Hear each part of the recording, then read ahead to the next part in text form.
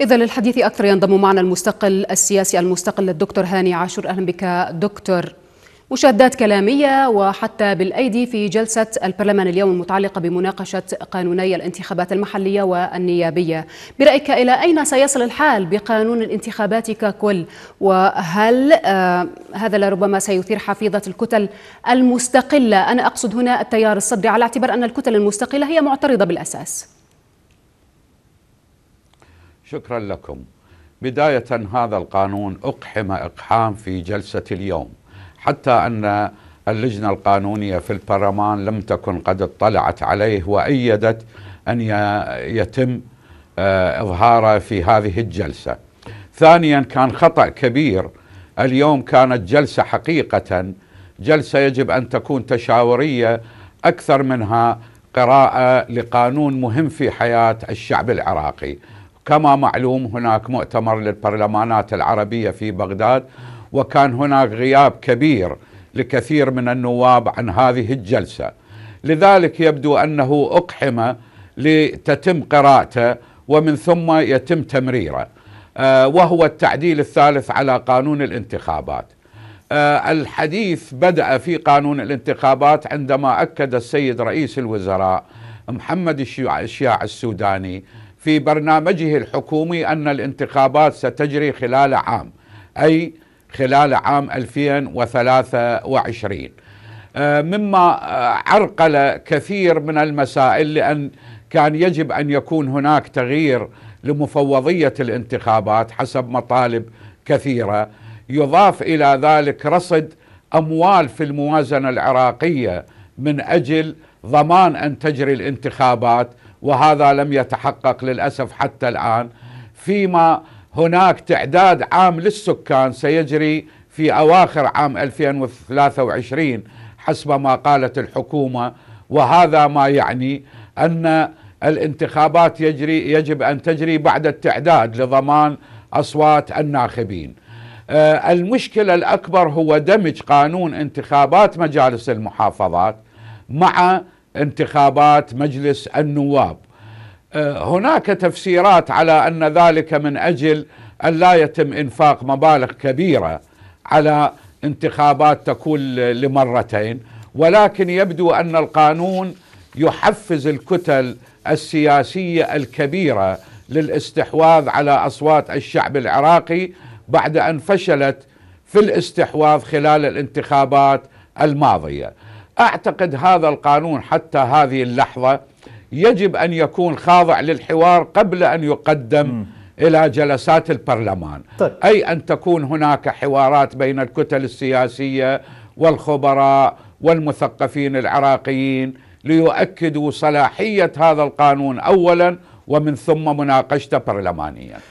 دكتور هاني يعني من الأمور التي كشفت عنها اللجنة القانونية بأن المقترح ربما سيكون بمعزل عن قانون الانتخابات التشريعية. إن كان ذلك واقعا هل تعتقد أن هذه خطوة إلى الوراء أم أنه قد يفصل عن الانتخابات التشريعية ويبقى متصل بسانتليغو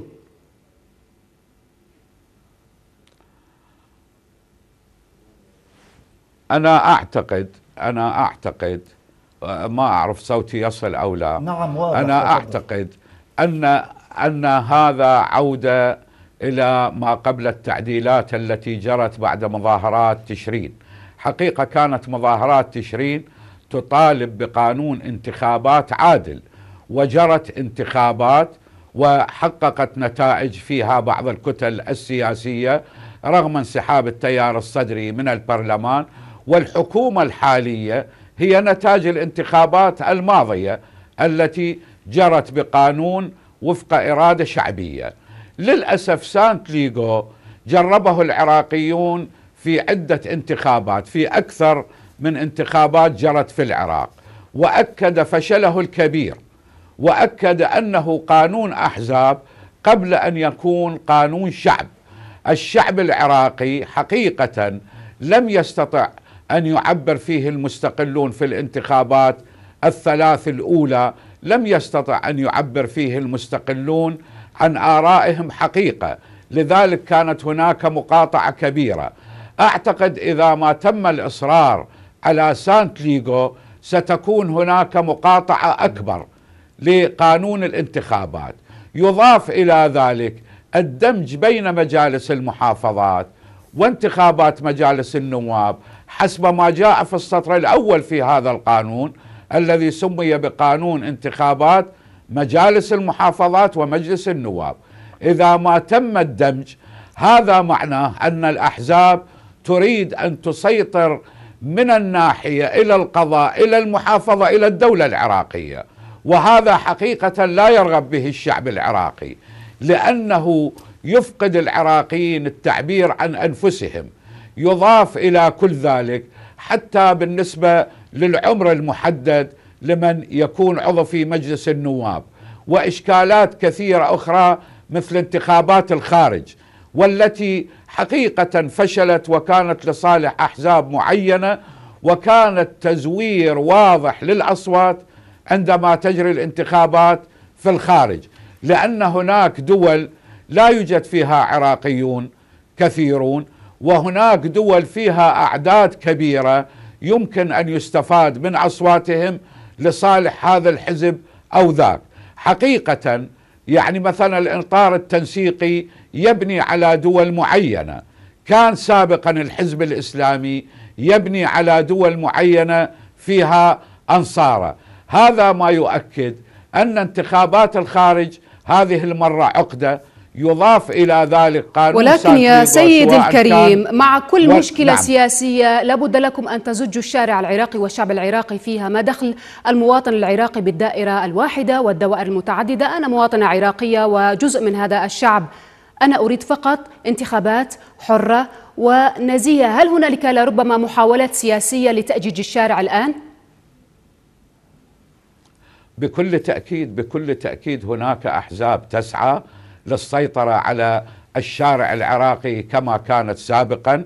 هناك أحزاب تسعى ألا يمر أي مستقل أو حزب صغير أو كتلة صغيرة تريد أن تعبر عن نخبة اجتماعية معينة وإنما تبقى هذه الأحزاب متحكك متحكمة كما كان قبل ذلك.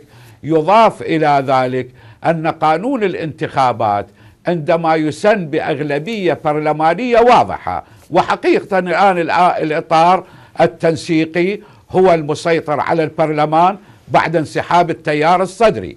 إذا الإطار يبحث عن مصلحته في القانون الذي سيقرره البرلمان العراقي.